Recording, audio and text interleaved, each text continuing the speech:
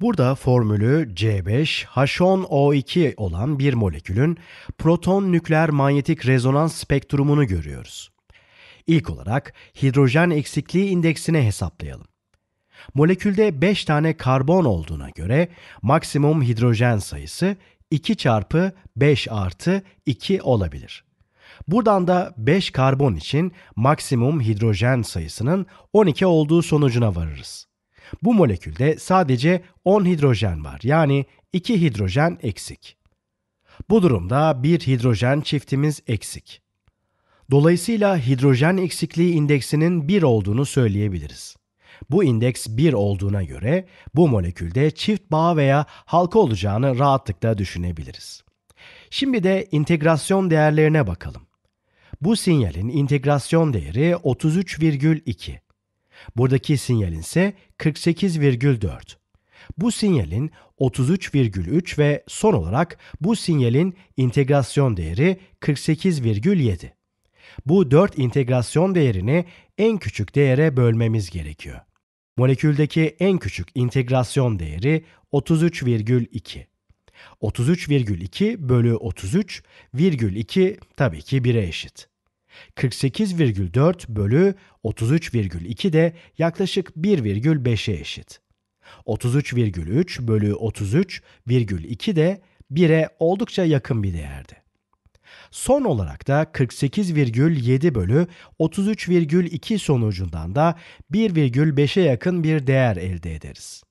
Bu da bize bu 4 sinyalin oluşmasını sağlayan protonların bağıl oranlarını verir. Ancak molekülde 10 tane proton olması gerekiyor. Burada 10 tane hidrojenimiz var. Yani bu sadece bağıl bir değer. Hidrojenin mutlak sayısını bulmak için bu bağıl sayıları 2 ile çarpmamız gerekiyor. 1 çarpı 2'nin sonucu 2 olduğuna göre bu sinyalde 2 proton bulunur. 1,5 çarpı 2 de 3 olacağından bu sinyalde 3 proton olacağını söyleyebiliriz. 1 çarpı 2'den bu sinyalde de 2 tane proton bulunur. Aynı şekilde 1,5 çarpı 2 3 olacağından bu sinyalin de 3 protona eşit olacağını belirtelim. Şimdi de tek tek bu 4 sinyali inceleyelim. Sol taraftaki 2 tane protonu olan sinyalle başlayabiliriz. Burada 2 proton olduğundan bu bir CH2 grubu. Buraya bir CH2 grubu çizelim. Peki bu CH2 gruba komşu kaç proton bulunur? Bunu n artı 1 kuralından yararlanarak bulabiliriz. n tane komşu proton olduğunda sinyalin n artı 1 sayıda pik yapması gerekir. Buna göre bu sinyalin pik sayısını bulalım. 1, 2 ve 3. Bu sinyalin 3 pik noktası olduğunu görüyoruz. Bundan 1 çıkartarak da komşu proton sayısını bulabiliriz. 3 eksi 2'den bu CH2 grubuna ait protonlara komşu 2 tane proton olduğu sonucuna ulaşabiliriz. Şimdi de kimyasal kaymaya bakalım. Bu sinyaldeki kimyasal kaymanın yaklaşık 4 ppm olduğunu söyleyebiliriz. Bu da aslında bu 4 sinyal içerisindeki en yüksek kimyasal kayma değeri. Bu da bize bu kısımdaki protonun karbona, onun da elektronegatif bir atoma bağlı olduğunu gösterir molekül formülüne baktığımızda da iki tane oksijenimiz olduğunu görüyoruz. Bu oksijenlerinden birini alarak buradaki karbona yerleştirelim.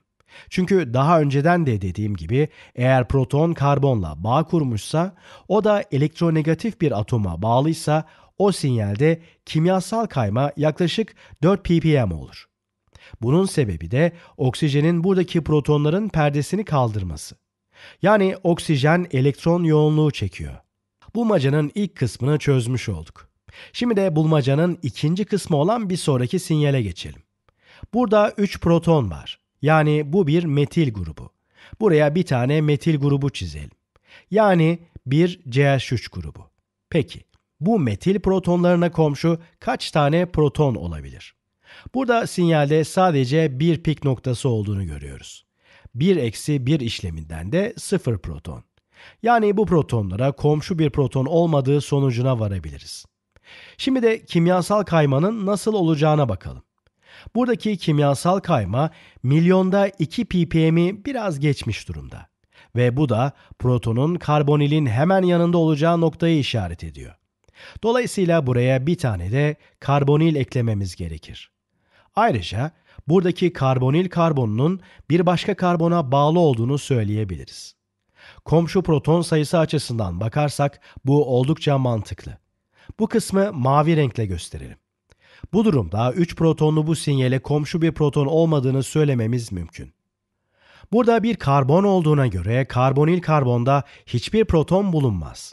Böylece bulmacanın bu kısmını da tamamlamış olduk. Artık bir sonraki sinyale geçebiliriz. Burada bir CH2 grubu var. Peki, komşu proton sayısı kaç olabilir?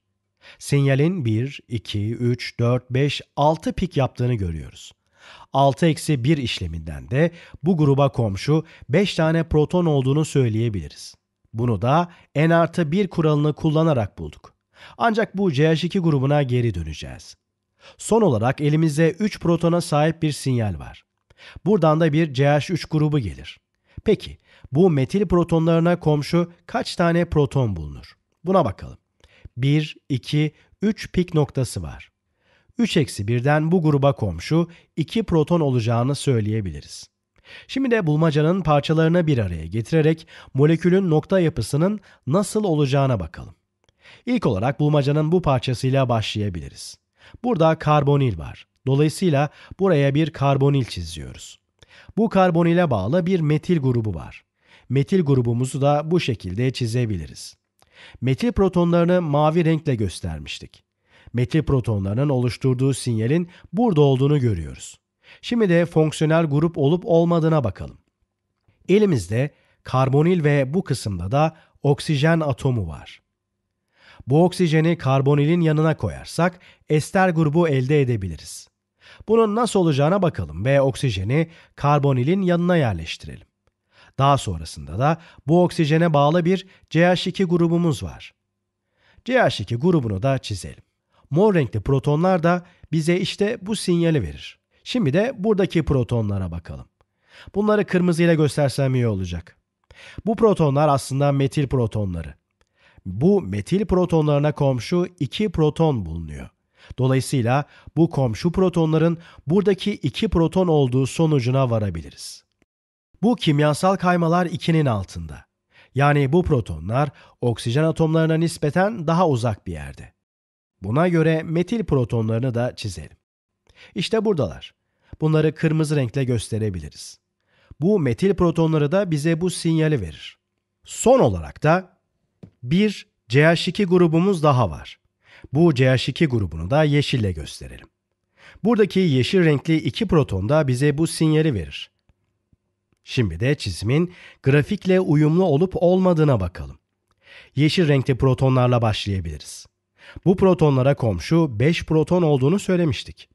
Yeşil protonların bağlı olduğu karbona ve daha sonrasında bu karbonun yanındaki karbona bakalım. Buradan 3 tane komşu proton gelir.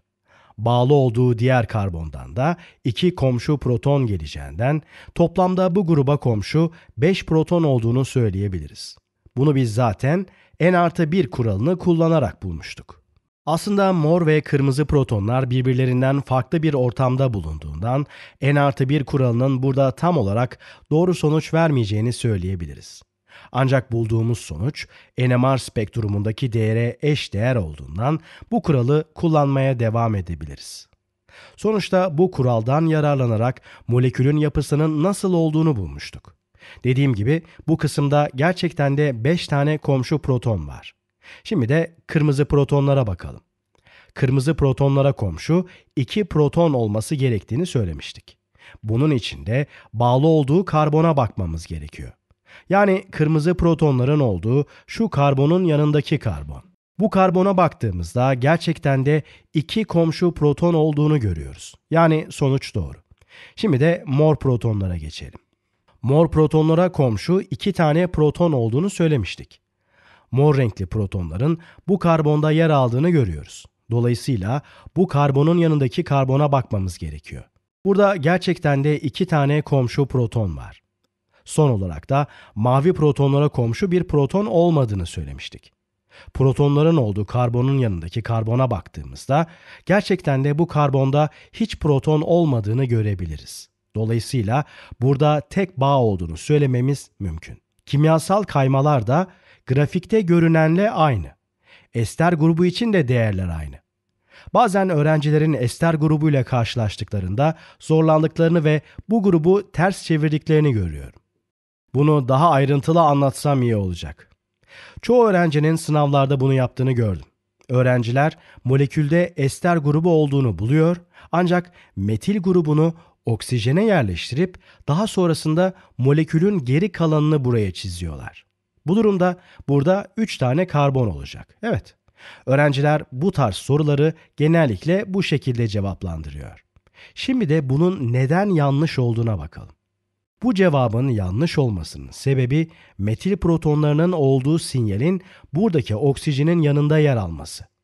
Buradaki oksijen perdeyi kaldırdığı için bu metil protonlarından tek bir bağ elde ederiz.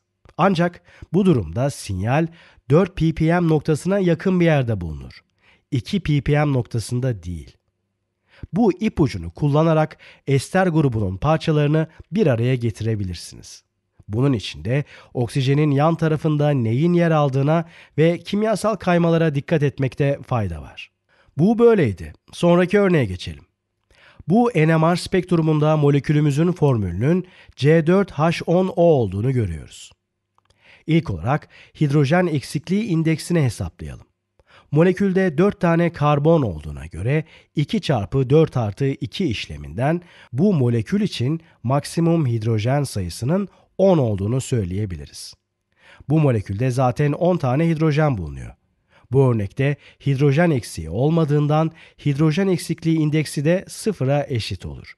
Bu durumda da nokta yapısında çift bağ veya halka olmasını bekleyemeyiz.